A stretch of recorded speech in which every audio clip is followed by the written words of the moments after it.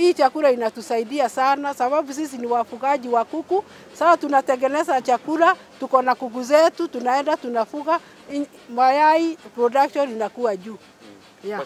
Okay, tunasaidia community, lakini sasa bei ya material iko juu sana. Tuna produce about 40, 400 kilos per day. Na that one is not enough for the local community. Yeah. Niko na vision gani? Okay, sasa vile tuna, vile tulikuwa tunaonelea sababu hii chakula ina, is coming outside of the country, kama tunaweza kuwa na hii mimea, sababu chakula ya kuku tunatumia mahindi, soya beans na sunflower. Sasa ndio tunaona sababu Kiambu tunaweza kupanda hizi vitu and they are doing very well. Sasa material itakuwa cheap na hata bei ya chakula itaendelea kuwa chini, sababu saa hii ukienda kwa duka kilo moja ya grower tunanunua 70 shillings, lakini hizi tunatengeneza tunauza 50 per kg.